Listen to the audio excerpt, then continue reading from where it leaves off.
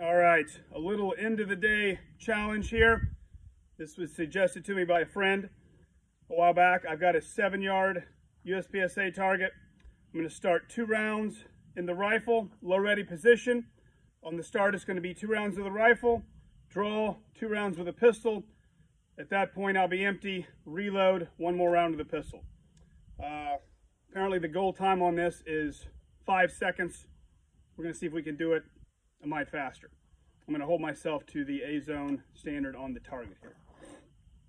See what we got.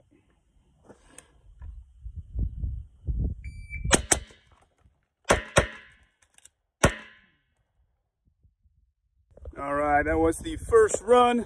Pretty conservative. I'm usually trying to do that first first run, just go at, at a consistent pace. So I got a, got a 340 there, if we can see that. Did not register the two uh, rounds the rifle the suppressor.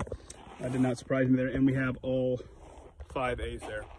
All right, so now with that established, uh, we're gonna have some fun here. We're gonna push it a little bit. I'm gonna, I'm gonna say, I'm gonna accept anything in the AC zone, which honestly is about the same size as the preferred area on most law enforcement targets.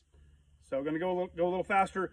340 on that, that first run against conservative pace. So I'm thinking in my head, what I'm shooting for here is under three. What we got.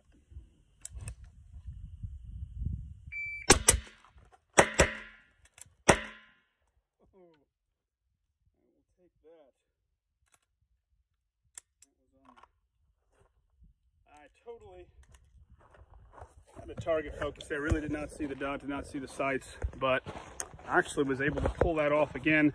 Now, if I had to do that a bunch of times in a row, I'll be honest, it probably wouldn't happen like that, but it did happen that time. So we got a 278 there. Always, I'm happy.